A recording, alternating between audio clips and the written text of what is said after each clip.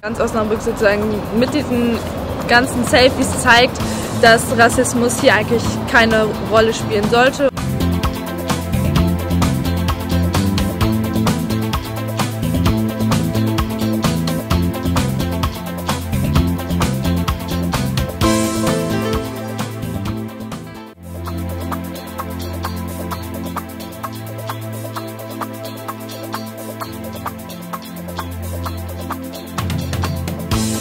Ich finde die Selfie-Aktion gerade deshalb gut, weil es viele Jugendliche anspricht und die Jugendlichen äh, selber anfangen nachzudenken und vor allem ihre Freunde auch dazu motivieren können.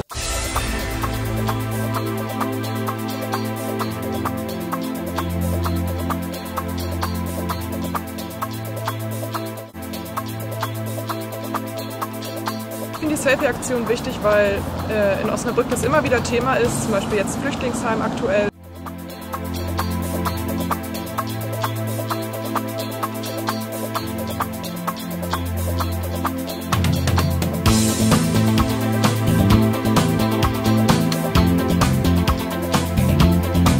Also ich fand an der Selfie-Aktion besonders schön oder besonders toll, dass wirklich jeder mitmachen konnte.